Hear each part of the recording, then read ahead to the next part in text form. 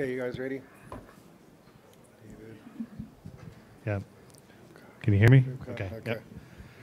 All right, very good. Well, good evening and welcome. Uh, this is a panel discussion, the title of which is Hybrid Cloud in Finance. And I've been able to, we've been able to get a selection of people from finance companies and related finance companies to join us with the panel this afternoon. And uh, I think we'll have a pretty interesting discussion because obviously everybody in finance and everybody, any enterprise is dealing with a lot of really hard issues these days in moving to the cloud. So I'm not going to spend a lot of time introducing each of these speakers individually. Um, uh, their, their photo and their, their name is up on the, on the slide here, hopefully in the order, almost in the order everybody's in. Um, but I'll just run through everybody uh, briefly. So There you go. there you go. Thanks, David. so we've got Asif Alam from Reuters, Global Business Director from Reuters. Janga Aliminati from uh, Visa, Chief Architect at Visa. Marco Hochstrasser from uh, Swisscom, who does a lot of work with all the financials, or many of them, head uh, cloud, of cloud platform dev there. Uh, my colleague David Lewis from BNY Mellon, head of enterprise architecture practices there. And um, uh, right, Andre Ribka from Bloomberg. So these are the people that are dealing with all the decisions and all the challenges and problems that cloud is bringing and software delivery and all that is bringing to, the, to this industry. So it's a, it's a good panel to discuss some of these issues. And uh, we're just going to dive right into it. We're having some logistical issues with microphones, but I think it should work out okay. Yeah, we And- turned it into a stand-up. Yeah, we'll turn it into a stand-up. This stand-up. is a stand-up meeting. And we'll be passing the mics back and forth. very, very good. So, and what I'll, I'll, um, I'll invite you to uh, just answer at will. You don't have to go in any particular order, but I'm going to keep everybody up to, you know, up to, you know, three minutes or so on responses because we're short on time. So um, let's get started. So Bill Hilf this morning did uh, mention a little bit about private versus public cloud, and that whole concept is kind of evolving a lot. Maybe in five years there won't be such a thing. But um, I've been interested in private versus public for years, and the challenges that are involved in moving one way or other, or the restrictions or constraints that prevent moving from one place to another. And I would love to get everybody here's opinion on that whole issue of moving to private, moving to public, what prevents you or forces you to go one to the other, and what, what is your concept of private versus public? Who'd like to start? I can start. I have the mic. So Thanks. Thanks, thanks a lot. So, so my my view is that uh, there was a there's a concept of multi-cloud which has been talked about a lot in the last two days, and I feel that that's where, at least I feel, the financial services is heading to. Uh, there is there will always be a place for public cloud uh, uh, for various reasons, uh, entitlements, this, that, all the proprietary data that you have that you cannot move from one place or the other. But in the larger scheme of things, I feel that a multi-cloud um, uh, in, in a public cloud um, with multi-vendors, maybe even more than two vendors, is the, the momentum, if you look at the momentum or direction, that's what I'm seeing. Now, is it there yet right now? No, because of a lot of complexities. But that's where I see the industry driving towards and building solutions around that. Great. So, in my view, at Visa, I mean, we chose private cloud. So, my it, it depends. Like generally, like uh, if the customer has a talent to build a cloud, and what kind of infrastructure they have. If it is a new consumer application company and uh, moving to public cloud without having any um, infrastructure or talent, that makes sense. But for in my company, Visa, we have a talent we, we are running our data center for years and we have infrastructure. So we have a talent, we have infrastructure. Going to public cloud, paying somebody doesn't make sense. Does, it's not cost effective to us. Building private cloud, initially it may be, I mean, challenging, but once we build the private cloud on our on-premise, and so cost point of view, it's very, very uh, meaningful, and also security. That's one of the concern that we had. So we just, uh, it's, it's not about our customers, but it's about our customers' customers, customers, customers, customers. So we have to ensure the trust. That's only possible with the private cloud. So that's the reason, I mean, in my view, uh, it makes sense to go in the private cloud. So you've talked about the, the financial reasons and the security reasons. Are, are any of those forcing you not to go to public cloud, or is it just that's the uh, sort of the least path of So resistance? if you have applications, I mean, which is not considered as a secured applications or customer dependent applications, definitely we can use public cloud. So it's like somebody's hosting it, we can just subscribe it instead of building and hosting on premise. Okay, all right, very good. Okay, Marco, to you? Yeah. So um, we host a lot of financial companies, but I also am also the foundation, so that's why I represent a couple of them. And what we see, especially in Europe, that um, the, the audit and compliance reasons are one important reason that the the banks or financial services in general need to host some stuff on-prem still. And for them, multi-cloud is not just about having on-prem and public offerings and moving them around, but also have the possibility to, within their private environments, move it from the different clouds they have. Most of the, the financial service we see build in the last five years, maybe four to six clouds by their own. And just moving workload around them and leveraging them best is what they understand on multi-cloud. Yeah, so a couple different perspectives, John. So, uh, you're probably fairly familiar with this. So, I think you know we we have a substantial investment in private cloud historically. We've built utility computing platforms for a long time. We own our own data centers. So, you know, as compelling as some of the financials claim to be for some of the public cloud providers, that's not really a draw for us. It would actually be a net expense increase for us in the short term. So one of the things we're looking at, and, and the reason we look at technologies like Cloud Foundry and some of the other emerging cloud technologies is it allows us to make our applications cloud ready so that you have the mobility for the applications. Historically, we never built application, applications that way. 12 factor didn't exist. And, but even if we wanted to go to public cloud today, it doesn't make economic sense for us to do that for a lot of cases, even if you disallow some of the security issues. Then I think the other component, which is one we talked about, and you know, Bill Hilf's comment this morning about you know public versus private, and what does that mean for that to go away? What it means is, you know, some of those security issues, whether it's data locality issues, you know, regulatory issues around data locality, or even just how do you secure an application so that if you're running multi-tenant either in your own data center or in a public data center, once you've secured your application to the point where there you have complete isolation in a multi-tenant space, it doesn't matter where it's running. It could be running in your own data center, it could be running somewhere else, and, and it's really just the economics that drive that. So I think when we look at multi-cloud, hybrid cloud, the strategy is in the short term around the economics and in longer term around uh, a security posture that allows applications to be mobile. So some very good points. Um, I would certainly disagree with the point that you should just stay on private. Uh, I understand Visa, you know, might be very sensitive, but there are some workloads that probably belong in public. Some workloads don't belong in public, right? So I would agree with that point, I guess. Um, from like point of view of building data centers, hell no. I, I don't think we want to build another data center.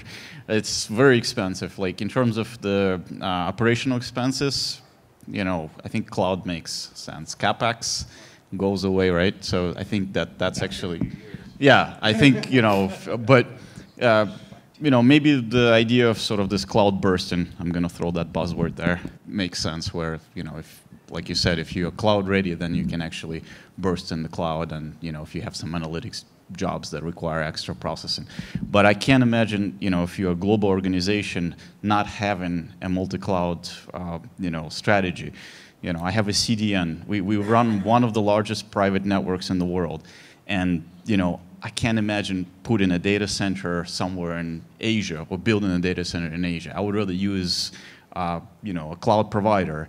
Um, Security-wise, I actually trust more, you know, Google, Amazon, um, and Microsoft, you know, because I'm sure they, you know, they, they will lose business if there is, you know, security issues. So I'm sure they thought of a lot of things that even on-prem we might not have thought of. Great, thanks, Andre. I, um, just to add one, one uh, slight, I just have a question related to that, and, and then I think you have something you want to say, but um, I was talking to someone last year at a, a large enterprise that says they can't move to public cloud because they need the ability to sledgehammer their disk drives after they're done, for example, as opposed to you know making sure that whatever, even though they're securely erased or whatever, they need to be owned by the, uh, you know, make sure I own shredded, it. I think. Shredded, yeah. There's actually And industrial does- shredders does- that does shred that- the disk drives. We exactly. do that. Does that apply? Does that apply in this? Like, is that actually still a, a valid? Well, that was my point about security, right? Once you have the ability to run secure applications anywhere, it doesn't matter, right? You know, if the data is encrypted in a secure way. But, but security is not uh, stagnant, right? I, I think that the, the thing is that, um, and, the, and the, sorry, the point that I wanted to raise, it's, it's interesting that actually the competition, Bloomberg and Thomson Reuters, they are saying the same thing, Yeah, so that's a good thing, right? It's, it's great, we are saying the same things. Uh, because uh, just, just uh, 30 seconds, one point, another thing is that, uh, and again, we were talking about it earlier, that in the center of all this, what we are talking about is big data, is all the different data that is coming in, and cloud is the enabler. Now, if you want to really utilize all the different unique sets, structured, unstructured, this, that, no matter what it is coming from, and, and really scale it the right way, cloud, public cloud is the way to go. You, can, you cannot just build all the security parameters in your data center. And yes, there would be 5, 10, 1500 applications that you absolutely cannot move out of your, uh, your boundaries, fine. But I think majority has to go that way, is, is Yeah, I, th- I think uh, in general, I mean, perception is a one thing, and uh, uh, in reality, I mean, uh, the companies like Visa, it's not about our, our just one layer of customers. We have to ensure the trust all the way to downstream. So everybody understanding what is the security level of public cloud today, it's not there. Maybe after five years, it may be. That's the one thing. And the second thing is, in the Visa, we don't need to build the I mean, data center. We already have a data center. We already have infrastructure. We already invested infrastructure for next five years, maybe 10 years. So throwing out all that infrastructure and having talented people, IT talented people, and just going public cloud, I mean, there is no way. I mean, CapEx and OpEx, when you compare, it doesn't add up, right? I mean, the CIO never agrees that.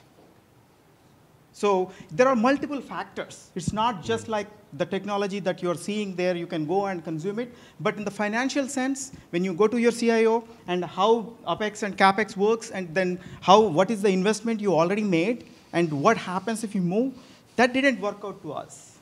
So maybe if, if you're building a data center, I mean, from the scratch, maybe it's a good idea to go to public cloud.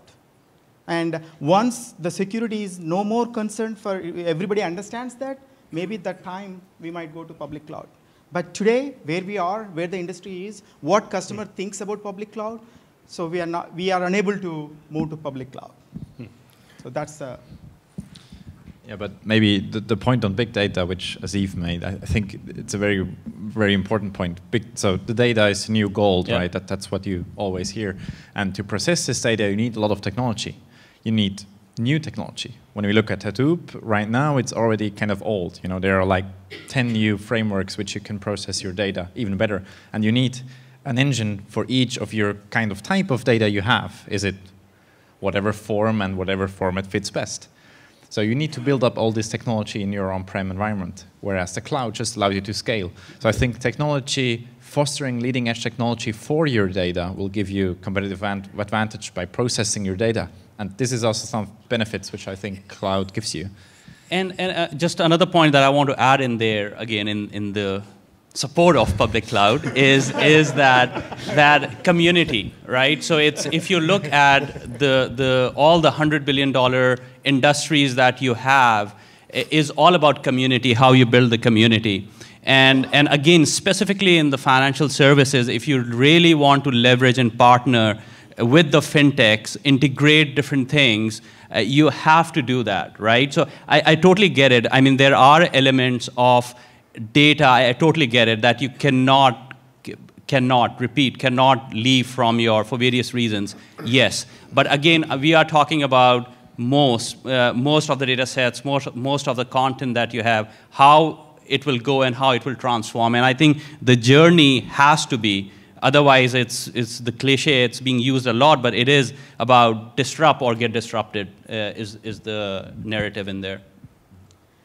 So last year I was uh, at a conference and a, a, large company whose name starts with G had a, a little statement about that basically private cloud is dead and, and that, uh, you know, obviously they would, right? But they, they, their statement was that it's like the old power plants 100 years ago, every enterprise, every company had a power plant sitting on their front lawn to power the building. And now that that uh, power is a commodity that can be centralized, and same thing with that was their argument there. From what you guys are saying, or from some what I'm hearing, is that today that's not possible because of existing legacy infrastructure and because of security concerns. But maybe in some short period of time in the future, maybe the the uh, private cloud will go the way of the uh, on-premise power generator. Who knows? But yeah, and I think the interesting thing, you know, that Asif brought up about data, you know, there's a lot of different kinds of data in the financial industry. So, like, our data is predominantly not our data, it's client data.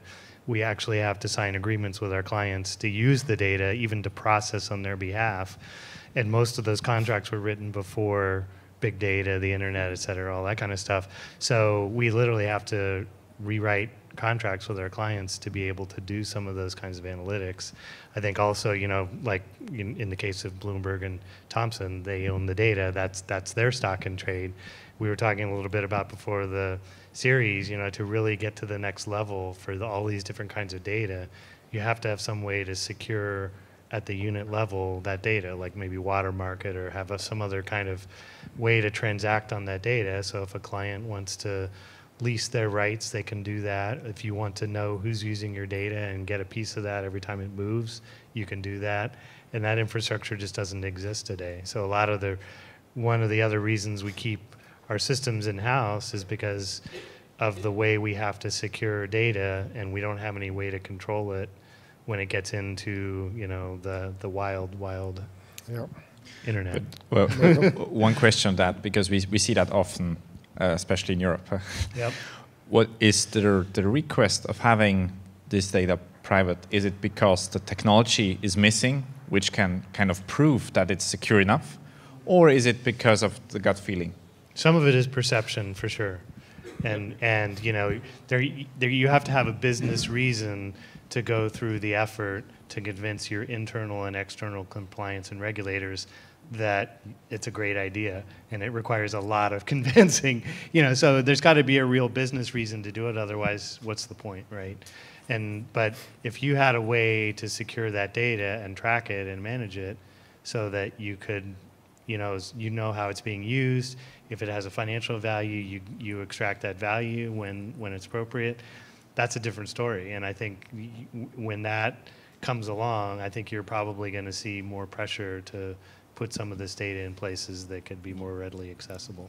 Yeah, one, one point to add is uh, I agree, it's a perception is the key thing actually today. Uh, security, I mean, so you can ensure security in a public cloud as much as in a private cloud, but the perception, the perception is not there yet, right? That's a key thing.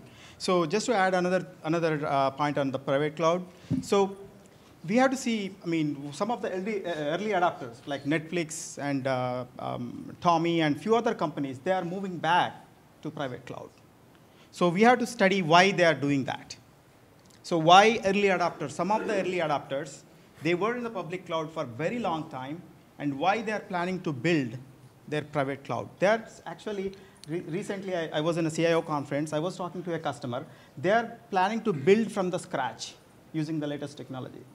So, I mean, it's a perception, and uh, I mean. Yeah, yeah. Well, one of them is you know data gravity. You know, once you build up a significant data set, you know the meter's running forever. Exactly. And you know the only way to get it back, you know, like even now, Amazon's got things like Snowball and stuff like that. But even that's just like pilot. How do you get your data back?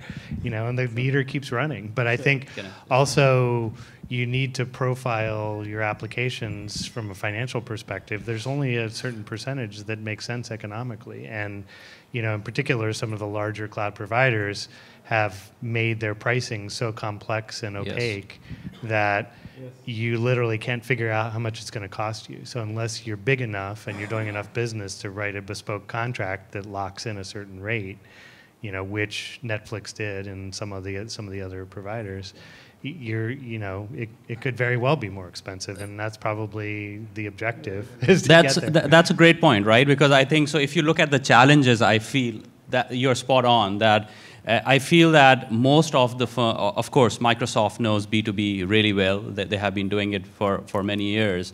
Uh, but if you look at all the other most of the new vendors who are big i.e the aws's or, or the gcp which is coming up a lot google cloud uh, they are they rock when it comes to B, B2C models, to selling it to you and me as individuals. But when it comes to B2B model, they they're getting there. They're, they are, you know, and, and again, there is a challenge of what is the right business model to actually do that. I think they're, they, what they have as tools is incredible. I mean, even from a GCP perspective, TensorFlow and some of the, the capabilities, Kubernetes we were talking about earlier, of how you can actually, that can support multi-cloud is fascinating. But to, back to your point, David, I think business model of how you actually take it and, and make it and, and put it into a production is, is, is an issue that we are all facing and, and trying to solve.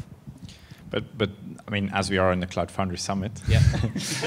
aren't, aren't, tech, Oh yeah, oh yeah. aren't, aren't technologies and what the standardization which Cloud Foundry offers you, is this not a bridge to, Yeah. to public and private, and which allows us then also to switch the providers, switch the models, Excellent. whatever applies right now, also maybe based on where your company stands. And Right, where so you that are was- with the, with the culture, yeah.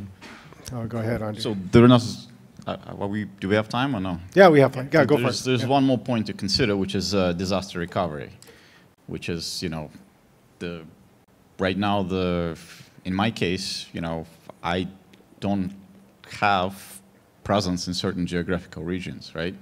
And for me, even if it's just for DR purposes, cloud makes a lot of sense because then I can have that presence there in that locality. So, you know, and I can't imagine building a data center for that, right? If we're talking about economics, you know, building a DR in different regions, I think that's pretty attractive, you know. Even if it just comes up on demand, I think that use case is actually quite good. And if I use Cloud Foundry, it will, uh, you know, magically appear, right? Uh, BOSH up and that's it. Very good. So while we're on the You got your 7,000 line YAML ready. Yes. Well, there you go. So, so then another, another, you've, if you alluded to it already, the, um, the ability to move from cloud to cloud is one way to ensure avoiding vendor lock-in. And how important, I'm very curious to know what, how important vendor lock-in or, or avoidance of like, uh, vendor lock-in is for, for you folks. Uh, Is it a, I mean, I, I can already see this with AWS, with all the wonderful features and candies that AWS has. You know, uh, it, it, the vendor lock-in is happening right now, so it's definitely a big issue, and certainly things like Cloud Foundry or uh, Kubernetes or you know other platforms uh, abstracting away, it it makes uh, perfect sense. Um, you know, I don't think we have the full parity of all the services, but uh, at the same time, um, if you don't think of it, then you know you're basically going to be locked in, and the Yeah. pricing and everything else is going to you know Yeah. get you down. I think, I think that's why Cloud Foundry or even containers, the new containers that are coming out, the Kubernetes and all, whatever it is that actually keeps you agnostic is priority number one. And if any, any vendor, any cloud provider is thinking any other way, they will, I don't think so they can survive long, long term because it is about being agnostic. It is about being actually, again, building that community of cloud and, and that's the only way forward, in my opinion. Yeah, I mean, for us, actually, uh, vendor lock-in is not at all allowed. I mean, so we don't want vendor to dictate us. So we want to build a solution based on the technologies that we like, that the technologies which suits to us. So in fact, we are building actually multiple clouds. I mean, so the cloud with a, I mean, VM orchestration, the cloud with a Cloud Foundry, the cloud with a Docker and Swarm. So we are building multiple clouds based on requirements from different product teams. And same times, we are not, we are, we are trying to make sure we are not locked into any technology that particularly going to dictate us. I think, um, I mean, I can just underline what they said. And I think one, one further point which uh, also the foundation brings into place is area where people like you talk together and form the new requirements to, to the product. And I think that's, that uniquely shows that the vendor lock-in is pretty, pretty yeah, not I, here, right? Yeah, it's, I think even uh, you know this ties in with uh, the comment this morning about you know not private, private or public, but hybrid is, you know, certainly for us, you know, we got the same concern you do. We've got capital investments, but even once you start, you know, rolling off some of those assets, you want mobility, right? You, if I want, I want to be able to say, okay, I can put it in, in this public or in this uh, externally hosted area, or I may want to put it in my own data center. From my application team's perspective, it shouldn't matter, right? They, there shouldn't be a lift, there shouldn't be yeah. an issue. There's probably going to be some work behind the scenes in term from a compliance perspective, but you know that's really the goal is whether it's moving from one external cloud provider provider to another or to my own space or wherever, I, I want that mobility, and, and I'm not going to get that. Even, you know, using something like Cloud Foundry, because it's not just, you know, Amazon versus Azure versus Google, it's also, can I run it on my own infrastructure? And none of those guys offer an internal, in any true sense, uh, something that I'd run in my own data center. Very good. Okay, so uh, we actually have, um, Yeah, yeah. We have five minutes left, and I'd like to at least invite if there's a, an audience question or two, if there's anybody that has some burning question. Uh, and then please step up to the mic and we'll, we'll cover it. Thanks, guys. So you have um, NASDAQ has something that runs in AWS, QCloud. Um, Cap One's on stage at AWS.